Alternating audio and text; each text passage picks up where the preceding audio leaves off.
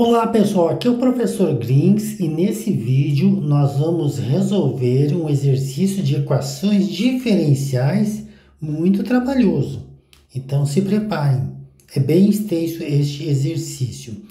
O exercício em questão diz o seguinte: um estudante infectado retorna para a universidade onde tem mil alunos. Então o estudante está infectado e vai para uma universidade onde temos mil alunos. A taxa na qual a virose se espalha é proporcional à quantidade de alunos infectados e também proporcional à quantidade de alunos não infectados. E após quatro dias, observou-se que havia 50 alunos infectados. Determine uma lei que forneça a quantidade de alunos infectados em função do tempo. Bom, para começar, vamos batizar as coisas. Inicialmente, eu vou chamar de x a quantidade de alunos infectados. E aí está então, X representa a quantidade de alunos infectados. E a quantidade de alunos não infectados vai ser mil, que são todos os alunos, menos a quantidade de infectados. Eu vou escrever assim, quantidade como aspas, para dizer que é a mesma coisa, de não infectados. Eu omiti a palavra alunos, mas vocês sabem que é alunos. E aí estão então as letras que eu usei para representar cada coisa. Nós também sabemos que quando o tempo for igual a zero, ou seja, no início, o que nós temos de infectado vai ser apenas um aluno. Isso é óbvio, foi o primeiro aluno infectado que chegou no tempo zero. E após quatro dias, também foi dada essa informação, x igual a 50 alunos infectados. Esta informação está no texto. Nós também temos a informação de que a taxa de variação na qual a virose se espalha é proporcional à quantidade de alunos infectados que eu estou circulando ali, mas também à quantidade de alunos não infectados que eu estou circulando ali. Então, colocando em forma de equação diferencial isso, eu posso dizer que taxa de variação de alunos infectados em função do tempo é a taxa de variação é proporcional à quantidade de alunos infectados e também à quantidade de alunos não infectados. Está ali a equação. Só que a equação não é equação, é uma proporção. Como é que eu transformo uma proporção em equação? Sempre eu apago os símbolos de proporção coloco o sinal de igual, mas ao mesmo tempo eu coloco uma constante. Esta constante transformou a proporção em equação. A próxima coisa que eu poderia vir a fazer é separar dx com x, separação de variáveis. Fazendo isso, eu vou ter dx sobre x que multiplica 1000 menos x. Tudo isso igual a o dt passa para o outro lado, fica k dt. E aí então temos uma equação diferencial com separação de variáveis, colocando a integral de cada lado. Estou vendo que do lado esquerdo nós temos frações parciais. Eu vou ter que transformar em fração parcial aquela parcela que nós temos ali. Então, fazendo isso, reescrevendo 1 sobre x que multiplica 1000 menos x, transformando em fração parcial, vou ter a a descobrir sobre x mais o b também sobre 1000 menos x. O mínimo múltiplo comum é x vezes 1000 menos x, já coloquei ali. A parcela x vezes 1000 menos x dividido por x vezes 1000 menos x vai dar 1 e multiplica pelo 1 de cima fica 1. Se eu dividir o mínimo múltiplo comum por x, eu corto x com x, sobra 1000 menos x. Multiplica pelo numerador e eu terei a que multiplica 1000 menos x. A mesma coisa eu faço com o b agora. Divide o mínimo múltiplo comum, 1000 menos x vai ser cortado e simplificado com 1000 menos x, vai sobrar apenas o x que eu multiplico pelo b. Então eu vou ter mais b que multiplica x. Uma vez que o mínimo múltiplo comum foi aplicado a ambos os lados, eu até posso simplificar e ignorar o mínimo múltiplo comum, bem como o traço de divisão. Próxima coisa que eu fazer é multiplicar o A pelo 1000 e o A pelo X. Então, eu vou ter 1 igual a 1000A menos AX mais BX. Colocando em evidência o x, eu vou ter 1 igual a b menos o a, o x em evidência, mais 1000a.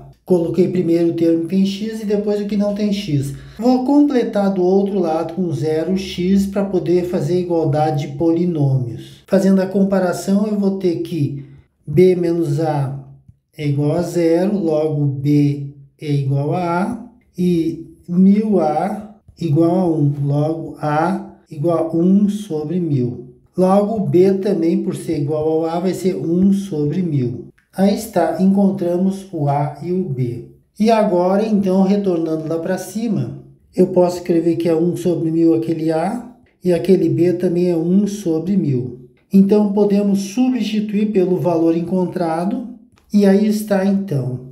O cálculo abaixo não nos interessa mais, já teve seu propósito cumprido. Então, posso apagar tudo. Não esquecendo que tudo isso vai ser igual a aquela integral que está ali. Mas para isso eu vou ter que aplicar a integral de ambos os lados. Integral, integral, integral e copiando o k dt, k dt.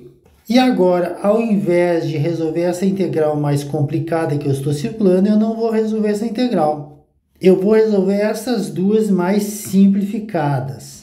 Esse era o propósito, trocar uma integral complicada por duas mais simples. Então, reescrevendo tudo que eu tenho, eu posso colocar 1 sobre 1000 do lado de fora, uma vez que é uma constante integral dx sobre x mais novamente 1 sobre 1000 para fora porque é uma constante, vezes integral de dx sobre 1000 menos x. Igual o k também pode ir para fora, é uma constante integral de dt. Resolvendo tudo que eu tenho agora, eu estou identificando uma integral de du sobre u, que vai ser igual a logaritmo natural de módulo de u mais a constante. Então, reescrevendo 1 sobre 1000 vezes logaritmo de módulo de x mais 1 sobre 1000. O nosso u nesse caso agora vai ser igual a 1000 menos x e o du vai ser igual a menos 1 dx. Então está faltando menos 1 lá em cima, não está negativo, o dx já está, e menos na frente para anular o que eu fiz. Se eu colocar o menos, menos com menos dá mais, é como se matematicamente tivesse tudo em equilíbrio, não alterei nada. Então, continuando o logaritmo, não se esquecendo do menos, claro. Então, esse menos com o mais dá menos, posso cancelar o mais e deixar um menos como resultado final. Logaritmo de 1000 menos x. E do outro lado, k que multiplica t mais uma constante. Sabendo que o número de infectado é um número positivo, é maior que zero, pois não pode ser negativo, e o número de não infectados também é um número maior que zero, pois não pode ser um número de não infectados negativo, eu vou me dar o luxo de retirar um módulo ali então. Mas estou explicando por quê. Porque esses valores garantidamente são positivos. E colocar um parênteses no lugar do módulo. Colocando em evidência 1 sobre 1000, eu vou ficar com um logaritmo de x apenas, menos logaritmo de 1000 menos x. Tudo isso igual a kt mais a constante. Aquele 1 sobre 1000 que está multiplicando, eu posso passar o 1000 para o outro lado, multiplicando o termo que está do outro lado. E claro que daí eu tenho que apagar 1 sobre 1000 que está ali. Posso também me dar o luxo de apagar os colchetes. Usando aquela propriedade logarítmica, logaritmo de A sobre B igual a logaritmo de A menos logaritmo de B.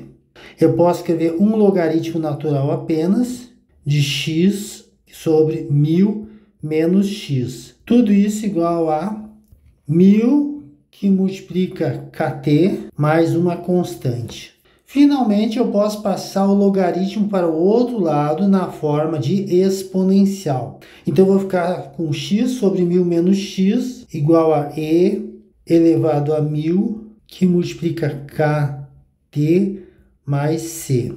Eu ainda posso escrever de um outro jeito. Eu posso escrever e elevado a 1000 kt vezes e elevado a 1000 c. Separei, né, usando aquela propriedade. Propriedade que eu me refiro, estou colocando ali a elevado a m mais n é igual a a elevado a m vezes a elevado a n. Acabei de usar essa propriedade. Mas eu posso afirmar que e elevado a uma constante, como eu estou circulando ali, ó, é uma constante, é uma outra constante. Então, ao invés de chamar de e elevado a 1000c, eu vou chamar apenas de c, porque o resultado daquilo é uma constante. Isso para simplificar.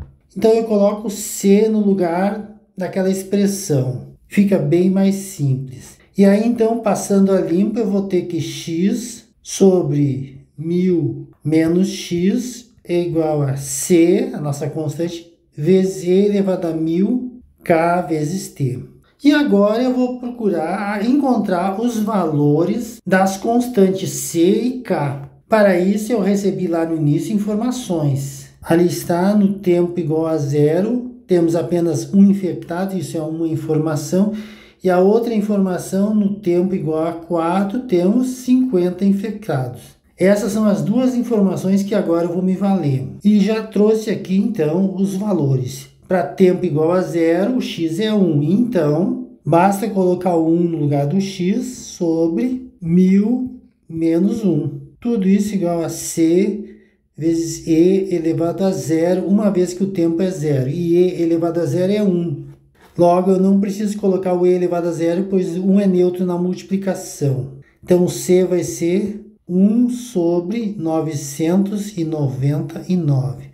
Já encontramos uma das constantes. Então, com isso, eu posso apagar o t igual a 0 e x igual a 1. Já usei essa informação. E no lugar do c, eu vou colocar o valor encontrado. 1 sobre 999. E agora temos que buscar o k, substituindo t por 4 e x igual a 50. Então, 50 sobre 1000 menos 50 igual a 1 sobre 999 e elevado a 1000k vezes 4. Resolvendo agora o que nós temos para encontrar o k, eu vou ter que 50 sobre 950 igual a 1 sobre 999 e elevado a 4000 que multiplica k. Posso cortar um zero com zero e ainda posso dividir por 5 o numerador e também por 5 o denominador, uma vez que termina em 5. E quando termina em 5 é divisível por 5. O 5 dividido por 5 é 1, já sabemos disso. Agora, 95 dividido por 5, uma boa calculadora me dá a resposta. Eu achei 19.